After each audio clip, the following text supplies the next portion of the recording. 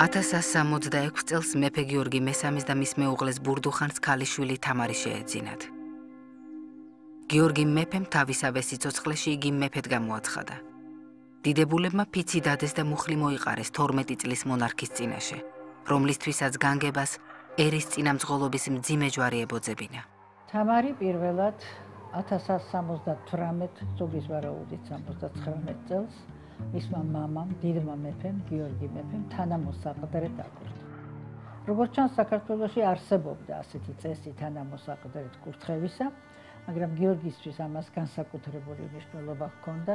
ჯერ ერთი ის რთულესი მდგომარეობა, რაც შეიქმნა დემნა ორბელთა აჯანყებასთან დაკავშირებით, აგრეთვე ის რომ თამარი ქალი იყო და არც ის იყო ადვილი საქმე, რომ არსებობდა მისი უფროსი ძმის ვაჟის ფაქტორი თავის დროზე, ეს ყველაფერი ართულებდა თამარის გამეფების მდგომარეობას და მან თამარი გამეფების ყველა წესების დაცვით დარბაზი მოიწვია, ყველაფერი აკურთხა თანამოსაყდრედ.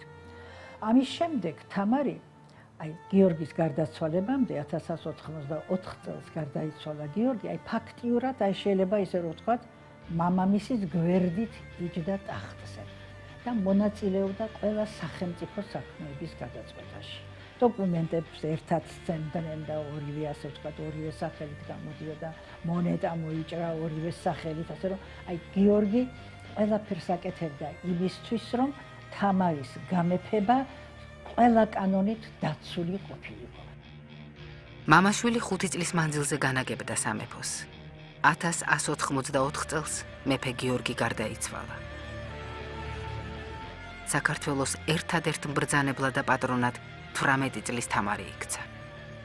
ქვეყანამაც ერთგულად და სიყვარულით მიიღო მზემზეთა ნათელი ნათელთა. კარის გარიგების დაცვით ღირსმა და მადმოსილმა მეუფემ ქუთათელმა მთავარ ეპისკოპოსმა ანტონ საღირისძემ და რაჭის და თაკვერის ერისთავმა კახაბერ კახაბერისძემ სამეფო გვირგვინი დაადგეს.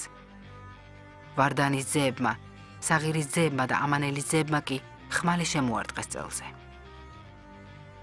მე-13 საუკუნიდან ჩვენ გვაქვს მეფის კურთხევის ახალი წესი.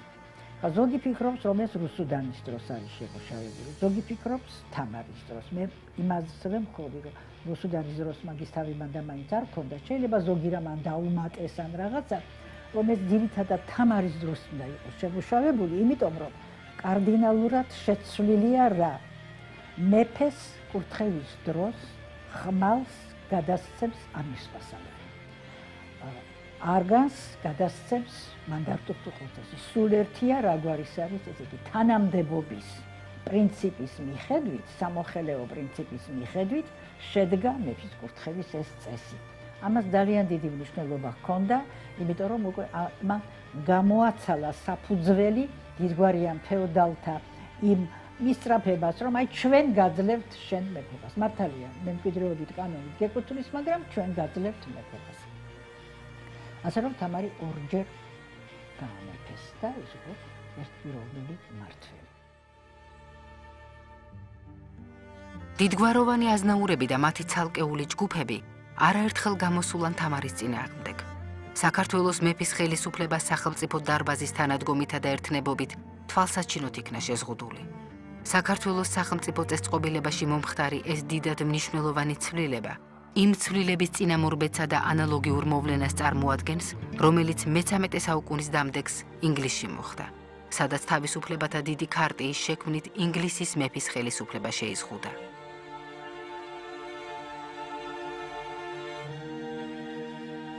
დიდგვაროვნები თამარის პირად ცხოვრებაში ცერეოდნენ. როცა თამარის ქმრის საკითხი დადგა ისინი საქმროდ მათთვის მისაღებ კაცს ეძებდნენ. პირველი ქმარი თამარს მისი სურვილის წინააღმდეგ მოუყვანეს. 1185-86 წელს სახელმწიფო დარბაზის გადაწყვეტილებით ჩრდილოეთ კავკასიდან ჩამოიყვანეს და თამარ შერთეს სუზდალის რუსეთის მთავრის ანდრია ბოგოლუბსკის შვილი გიორგი. მაგრამ ცოტა ხნის შემდეგ გიორგის პიროვნების უარყოფითი თვისებები მოიმიზეზეს და იგი საქართველოსდან გააძევეს. გიორგი ბიზანტიაში წავიდა. 1199 წელს თამარმა მეორედ იქორწინა. თამარის მეორე ქმარი იყო დავით სოსლანი. დავითი ოსეთის მეფის წული და ბაგრატიონთა შთამომავალი იყო და თამარის მამიდასთან, რუსუდანთან იზრდებოდა. ძალზეც საინტერესოა დავით სოსლანის შთამომავლო წარმოშობა და მისი თამართან დაქორწინების мотиваცია. დავით სოსლანი იყო ოსი უფლისწული. ყველა ქართული წყარო მიუხედავად იმისა, ისინი ამტკიცებენ, რომ სოსლანი იყო ბაგრატიონი თუ არ იყო ბაგრატიონი. ყველა შემთხვევაში ხალხს უსვამენ მის ეროვნებას, ამბობენ, რომ ის იყო ოსი უფლისო. მას მემატიანი ახასიათებს როგორც ზნეობრივი და რაინდული თვისებების ჩემკულ სასიამოვნო გარეგნობის კაცს. დავით სოსლანი სარდლობდა ქართველთა ლაშქარს თითქმის ყველა დიდ ბრძოლაში. არის ერთი ვერსია, რომლის თანახმადაც დავით სოსლანი პირდაპირ შთამავალი იყო გიორგი პირველის. ალდე დედოფალთან გიორგი პირველს ყავდა ვაჟი დემეტრე და თითქოს მისი მოდგმა იყო. ნუ ამ ვერსიას ავითარებს ვახუშტი ბაგრატიანი. თუმცა ისტორიკოსთა მეორე ნაწილია, რომელიც მე ამტკიცებენ, რომ ის იყო ოსთა სამეფო საგვარეულო შტოს ცარაზონთა წარმომადგენლები, რომელთა სამფლობელო იყო ჩრდილო ოსეთში არდონის ხეობაში. ტაძარი აი ამ არდონის ხეობიდან ჩვენ დღემდე არის შემორჩენილი მუზეუმის საკდრის სახით. თუმცა იგივე ცარაზონთა ოსური გვარი ბაგრატიონულ შტოდ ითვლება. მაგრამ ნებისმიერ შემთხვევაში ის იყო ზარაზონი მამის ხო თუ ის იყო გიორგი პირველის შთამავალი მამის მხრივ ყველა შემთხვევაში ერთერთი წყარო ვერ უარყოფსო დავით სოსლანი იყო დავით აღმაშენებლის შვილიშვილი მის წარმომავლობაზე არ არსებობს ერთიანი აზრი ქართულ სამეცნიერო ლიტერატურაში გამტკიცებულია მოსაზრება რომ დავით სოსლანი იყო ოსეთში დამკვიდრებულ ბაგრატიონთა შტოს წარმომადგენელი კვლევართა აზრით, ეშტო მომდინარეობს გიორგი პირველისა და ალანთა ტომის ასულის, ალდე დედოფლის ვაჟის დემეტრესაგან. დავით სოსლანს ბაგრატიონად მიიჩნევს გიორგი ლაშას დროინდელი მემატიანეც. ამ შემთხვევაში მთავარი იყო რა, რომ სამე ქართულ სამეფო ტახტს ყოლოდა შთაომავალი და გარდა ამისა ქართულ ლაშქარს წინამძღოლი. აი აი ეს მოტივი ამოძრავებდა ქართულ სამეფო გვარს. თუნდაც ტრადიცია მეფე ქმრის არსებობისა საქართველოში მაშინ არ არსებობდა. ანუ დავით სოსლანი ეს იყო, ასე იგი მეფე ქმარი, რა და მეფე ქმარს რა ფუნქცია ჰქონდა, რა უფლებამოსილება ჰქონდა, ასე ოფიციალურად ჩამოყალიბებული არ არსებობდა ქართულ სამეფო კარზე. და დავით სოსლანის ცხოვრებით ეს სტატუსი მეტნაკლებად ჩამოყალიბდა. ანუ აქ არის საუბარი ქართველი და ოსი ერის ურთიერთობაზე. როგორ ჩანს? ქართველ ერს ძალიან მძაფრად ახსოვდა, რომ ქართველი ერის ყველაზე დიდ და ყველაზე გენიალურ ომში, დიდ გორის ომში, ქართველების გვერდით ყველაზე სერიოზული მონაწილეობა სწორედ 5000-მა ოსმა მიიღო. რომ ოსები იბრძოდნენ ბაგრატ მეოთხის ხარდამხარ თბილისის განთავისუფლებისათვის. პრაქტიკულად დამარის მიერ წარმოდი ყველა ბრძოლაში. ჩვენ ხედავთ ოსურ ხედრობას როგორც განუყოფელ ნაცის ქართული დიდებული არმიის. ეგ ეს იყო გადამწყვეტი ფაქტორი როდესაც არჩევანი გაკეთა ოსუფლის სულს დავითისგან თამარს ორი შვილი ეყოლა. უფროსი გიორგი ლაშა და უმცროსი რუსუდანი. გიორგი რუსი ასე ადვილად არ შერიგებია თავის ბედს. მან ორჯერ მოაწყვა ჯანყება თამარის წინააღმდეგ. პირველად გიორგი ერზერუმის გზით შემოვიდა საქართველოში. მაშინ მას ისეთი დიდი ფეოდალები მიეხმარნენ, როგორიც იყვნენ გუზანი, კლარჯეთისა და შავშეთის მართველი, სამცხის პასალარი ბოცოჯაყელი და მსახურთუ ხუცესი ვარდან დადიანი. ამ დიდგვაროვან აზნაურებს იმედი ჰქონდათ, რომ გიორგის თავის სათამაშო ბურთად გადააქცევდნენ. მართალია გიორგის მომხრეებმა თავდაპირველად საქართველოს დიდი ნაწილის დაჭერა მოახერხეს და გიორგი მეფეთაც გამოაცხადეს დასავლეთ საქართველოში, მაგრამ შემდეგ მათ საქმე ცუდად წაუვიდათ. თამარის ერთგულმა ჯარებმა აჯანყებულთა მთავარი ძალა გაანადგურეს ჯავახეთში, თმოქვსა და ურუშეთს შუა. როდესაც ქართლში მყოფმა მეამბოხეებმა ჯავახეთის ჯგუფის დამარცხების ამბავი გაიგეს, უბრძოლველად გაიქცნენ. 1193 წელს გიორგი მხელმეორედ სცადა სახელმწიფო გადატრიალება. რანში მოვიდა ათაბაგთა და იქიდან კამბეჩოვანში, ესე იგი ქიზიხში შემოიჭრა, მაგრამ უმალვე დამარცხებული იქნა და უკვალოდ გადაიხვეწა. გამარჯვენ უწოდეთ არა დედოფალს, არამედ მეფეს. მაგრამ ყველა დიდი ომის სარდალი, რომელიც თამარის ეპოქაში განახორციელა და ჩაატარა ქართულმა მხედრობამ, ქართულმა სახელმწიფომ, იყო სწორედ დავით სუსლანი.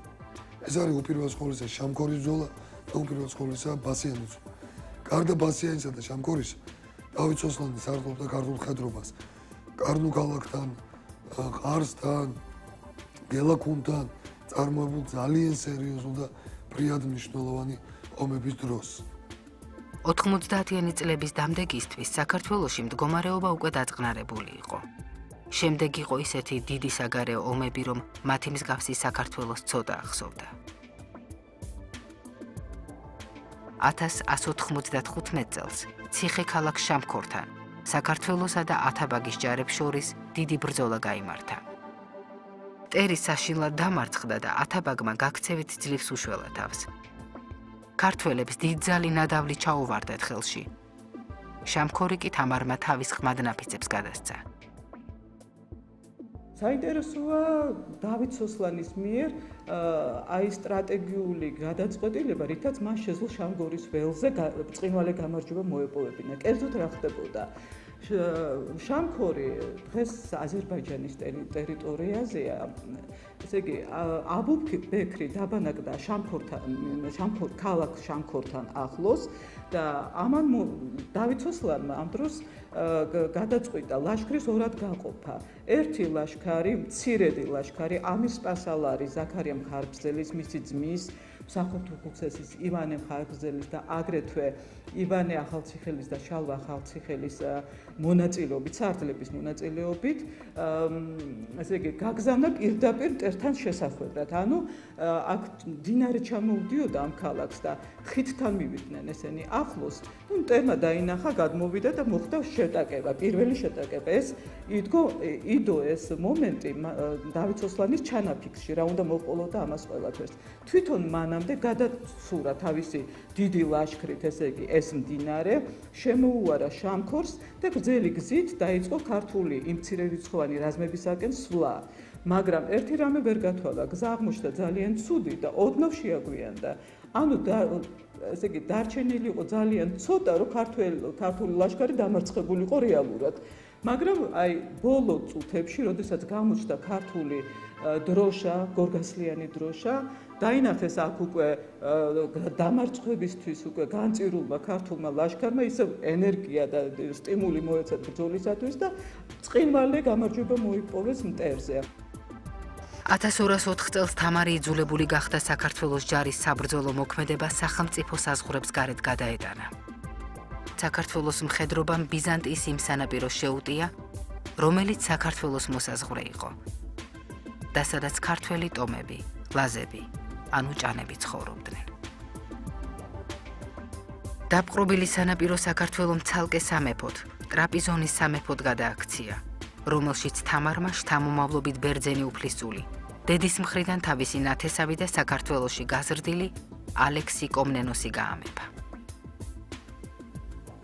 საქართველოს ძლევამოსილების შესახებ ხმამთელს მახლობელ აღმოსავლეთს მოედო, რაც მაჰმადიან გამგებელებში დიდ შეშფოთებას იწვევდა. ყველაზე მეტად რუმის სულთანი რუქნადინი იყო აღშფოთებული. რუმის სასულთნო ძლიერი თურქული სამეფო იყო, რომელიც დღევანდელი თურქეთის ფარგლებში მდებარეობდა. რუქნადინმა ყველა მეზობელი მაჰმადიანური სამფლობელო სულთანთან გაავა მოლაპარაკება, რომ შეერთებული ძალით საქართველოს წინააღმდეგ გამოელაშქრათ. მოკავშირეებმა 400.000-იან ლაშქარს მოუყარეს თავი. შეტაკება მოხდა საქართველოს ყველაზე სამხრეთით, ბასიანში. თავდაცვითი ბრძოლის მაგიერ ქართველებმა თავდასხმის ტაქტიკა აირჩიეს და მტერ შეუდიეს. ეს იყო უძინესი და უძნელესი. თითქმის 12 საათი გაგზავნა. ზოგი ვერსიით კიდევ უფრო დიდხანს. იმდენად გაგვიჭირდა, რომ უკვე გაჩნდა ეჩვი და საფრთხე უკან დახევის. სარდლები ჩამოქვეითდა და ხმალ და ხმალ აიღეს თავის თავზე დამატებით ბოლო შეტევის განხორციელება. ამ თავარ სარდალთაგან ვინ ჩამოკვეიდა და პირველმა შეუტია სალჩუკებს უკვე ხმალდა ხო. რუკნადი სწორი დავით ოსლანი იყო. ამან ითამაშა გადამწყვეტი რომ ბოლოს გატყდა უკვე. რუკნადინის წინააღმდეგობა, სელჩუკთა წინააღმდეგობა ну ეს გათხოვდა წინააღმდეგობისა და სიმედგრისა ის იყო რომ გაიქცნენ და უკვე ჩვენ პირწმინდად გავანადგურეთ ამ გენერალურ ბრძოლაში მოწინააღმდეგეები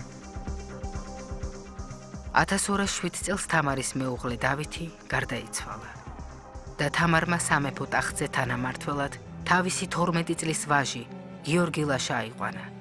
დავით სუსლანი გარდაიცვალა მე-13 საუკუნის დასაწყისში, სხვადასხვა თარიღები არსებობს მისი გარდაცვალების შესახებ. 1203, 4, 6, 7 წლები. ზაქარია ჭიჭინაძის ოსეთის ისტორიის თანახმად, აი ესეთი ცნობა აქვს მას აქ დაცული, რომ თამარის თხოვნით იგი წავიდა ოსეთში გადასახდა, ანუ მაგრამ დიდი ბრძოლების დროს ის ჩამოდიოდა და ლაშქარს ლაშქრის წინამძღოლად კვლავ ბრუნდებოდა.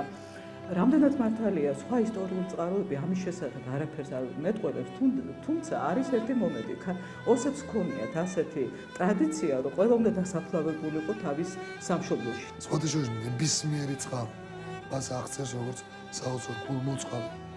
საოცარ იმზიდველ და სიმპათიური გარეგნობის კაც აღნაგობით საშუალოდ ამისას დანაძომიერი მაგრამ როგორც ძალიან დიდ ხედავს დიდ მეომარს და დიდ მამულიშვილს.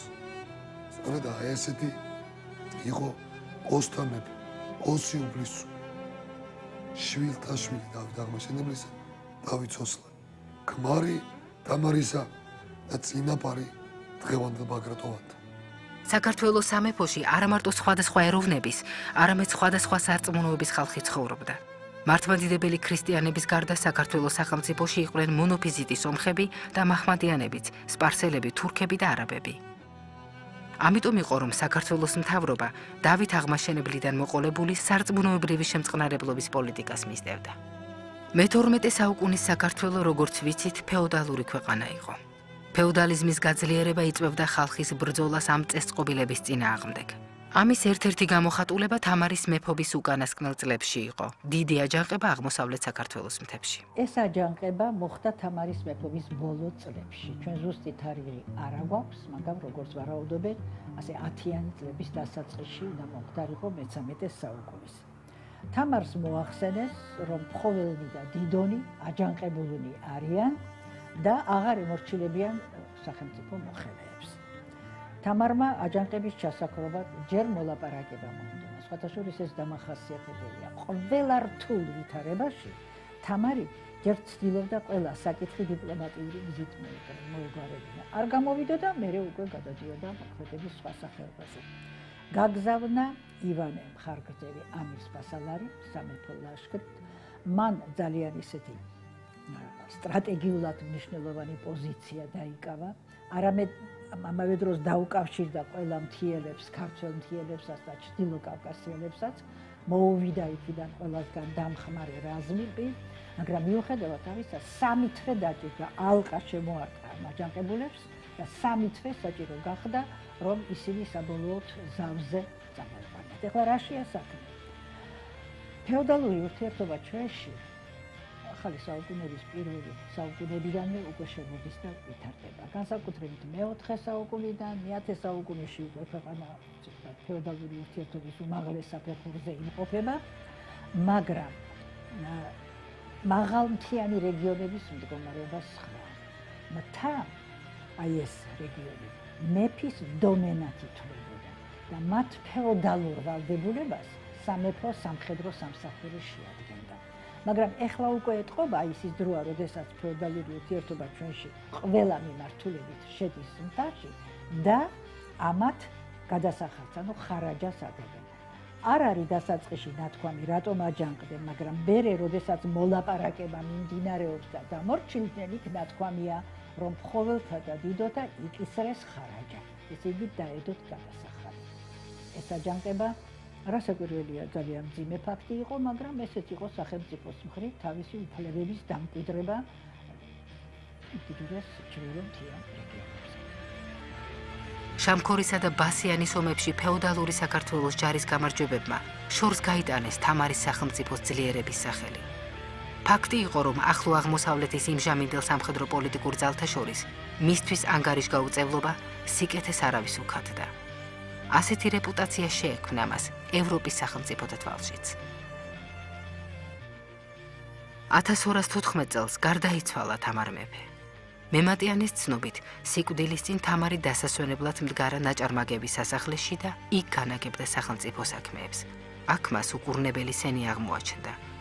ძიმი ავადმყოფი ნაჭარმაგებიდან ჩამოუყვანიათ თბილისში, სადაც მას თავი უფრო ცუდად უგრძნია. მაშინ თამარი გადაუყვანიათ თბილჰავიან აგარის ციხეში. მემატიანის ცნობით, თამარმა ყველანი დალოცა. ღმერთ შეავედრა თავისი სამეფო. შენ შეგვედრებ სამეფოსა ამას, რომელიც შენ მიერ მერწმუნა. და ერსა ამას, პატიოსანითა სისხლითა შენითა მოსყიდულსა. მეფის ნეშტი თბილისიდან გადაასვენეს ჯერ მცხეთაში. შემდეგ გელათში, სადაც დამარხეს საგვარეულო სასაფლაოზე. ცირეთა შინა დღეთა მცხეთად დადვეს.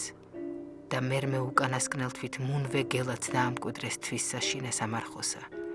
დიდებად მუნშინე დამკვიდრებულთა პაპათა და მამათა მისთა, სახელოვანთა დიდთა მეფეთა თანა. ბევრი მithმა მოთქმა არის იმის შესახებ, სად დაკრძალეს და როგორ დაკრძალეს.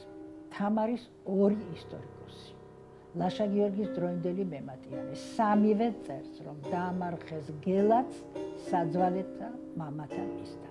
დავით აღმაშენებლის მიერ ვთქვათ დამკვიდრებულს. აი რატო უნდა შეგვეპაროს ამაში ეჭვი არ ვიცი.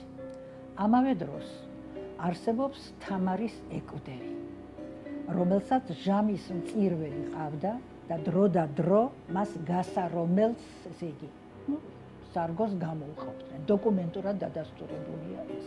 და ამავე დროს ცნობილია ისიც, რომ მე-20 საუკუნის დასაწყისშიც კი კომუნისტების ხელისუფლების დამყარებამდე გელათში თამარის ამ ეკუდერთან 14 მაისს მის დღეს იხსენებდნენ.